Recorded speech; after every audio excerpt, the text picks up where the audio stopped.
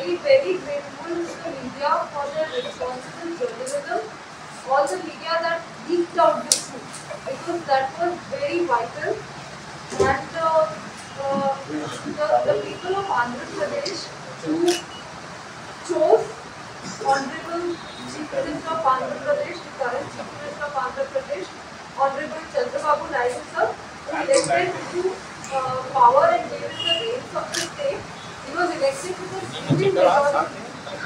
His able governance and people under him, uh, his able men, took on the onus to uh, serve justice to a woman and her old parents who have been wrongfully and illegally harassed. So that was a very noble, uh, noble initiative that these responsible men took up. I'm very sorry to see, uh, very pained to see, uh, you know, this being used as a political weapon against, against them. Uh, somebody that's just trying to serve justice an innocent woman and her elderly parents. They are being targeted, uh, you know, politically using the same against them. It's very, very shameful.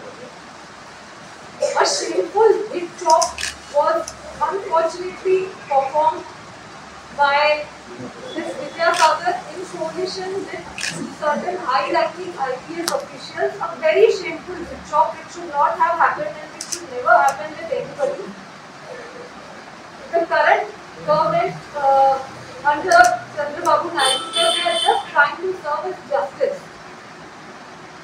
My, uh, my urge, my plea to all the political parties,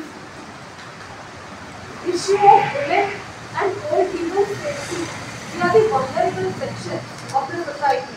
Their safety should be a matter of priority for all the political parties and it's very shameful to, you know, support somebody that has harassed an innocent woman so wrongly. It's very shameful.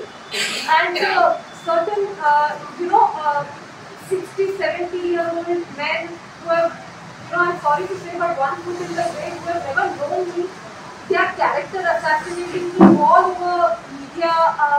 I'm very sorry to say, but these are the men who want to take advantage of women, who have been rejected so badly by women that now they hate women, they have turned misogynist.